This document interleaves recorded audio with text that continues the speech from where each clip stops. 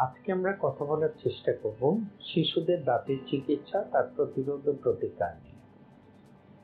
জন্মের পরপরই অনেকে আমাকে জিজ্ঞেস করেন যে, একটা শিশুকে কখন দাঁতের ডাক্তারকে দেখানো উচিত? জন্মের পরপর তো দাঁতই থাকে না। তাহলে দাঁতের কি যত্ন নেবে? আপনি, আমি তো বলব যে শুধু জন্মের পর না, জন্মের আগে শিশু যখন মা গর্ভধারণ করলেন, তখন থেকে তার কিন্তু দাঁতের কেয়ার শুরু হয়ে প্রশ্ন করতে পারেন কীভাবে?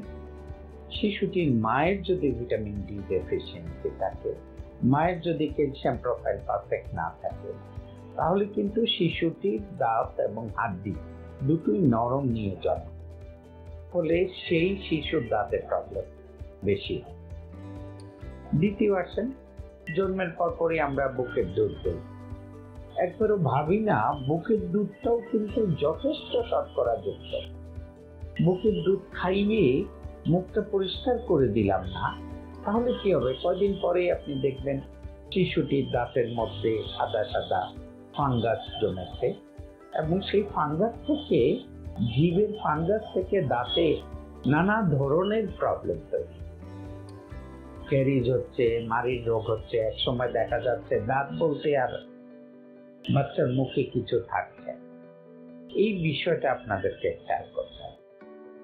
আর দ্বিতীয় যে প্রশ্নটার কথা আমরা বলছিলাম, কখন শিশুকে দাঁতের ডাক্তার দেখানো উচিত? আমি বলি যে ফার্স্ট বার্থডে হচ্ছে তার প্রথম সময় যখন আপনি তাকে ডেন্টিস্ট ভিজিটে নিয়ে যান। এই জন্য তার দাঁত হওয়ার আগে আপনি তো টেক কেয়ার করলেন যে আপনি খাচ্ছে মুখটা পরিষ্কার করে দিলেন। পুরো মুখটা একটু কুসুম গরম পানিতে একটা সুন্দর পরিষ্কার নেকড়া ভিজিয়ে ওইটা দিয়ে মুখের ভেতর বাহির এই জায়গাটা পরিষ্কার করে দেয় এরপর যদি কেরির সমস্যার কথা বলি, আমাদের দেশে শত শত শিশু অনেক কষ্ট করতেছে এই দাঁতের রোগ। বলে প্রতি দুইজনের একজনের শিশু স্কুল মিস করে। এই দাঁতের প্রবলেমের জন্য এই যে, এই ধরনের কাজগুলোকে আপনি যদি অ্যাভয়েড করতে চান, তাহলে তাকে একটা সুন্দর অভ্যাস গড়ে তুলতে প্রথম অভ্যাসটা কি? সেটা হচ্ছে যে, রাতে শোবার আগে সকালে নাস্তার পরে দুবেলা কমপক্ষে দুই মিনিট ধরে ব্রাশ করা। দ্বিতীয় যেটা করা দরকার, সেটা হচ্ছে পাঁচ বছর বয়স থেকে শিশুকে ফ্লস করার অভ্যাস করেন। দরকার ছয় বছর বয়স থেকে মাউথ ওয়াশ ব্যবহার করার পদ্ধতি তাকে শিখিয়ে দেওয়া দরকার এই জিনিসগুলো যদি করা যায় এবং ছোটবেলায় দাঁত যদি টেরিস প্রন হয়, তাহলে তাকে যদি ফ্লোরাইড জেল দিয়ে ট্রিটমেন্ট করা যায়, যদি পিট ফিশার ফিল করে দেওয়া যায়, তাহলে কিন্তু তার এই প্রবলেমটাকে কন্ট্রোল করা যায়। আর যদি রোগ হয়ে যায়, তাহলে কি করব? আমার তো বাচ্চার অনেকগুলো ক্যারেট তখন আমরা কি করব?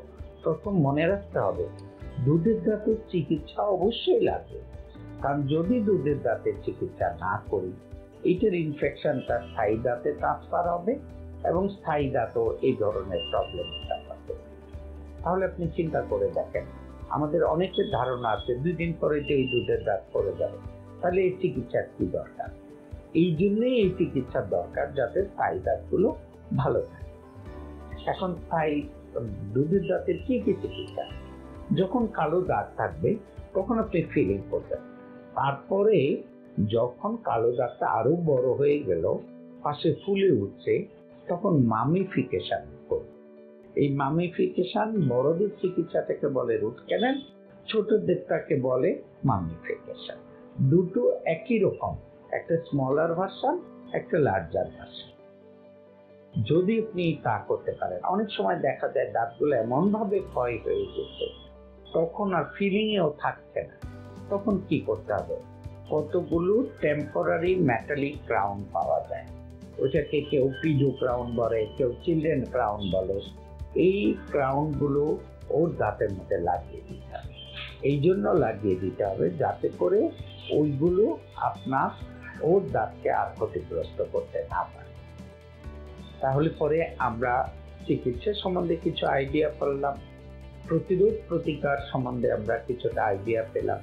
আমার ধারণা এই অভ্যাসগুলো যদি বজায় রাখা যায়, তাহলে শিশুদের নিয়ে আমাদেরকে কষ্ট করতে হবে না, শিশুরা সুস্থভাবে বেড়ে উঠবে। আপনাদের সকলকে আমাদের এই কথা ধৈর্য ধরে শোনার জন্য ধন্যবাদ জানাই।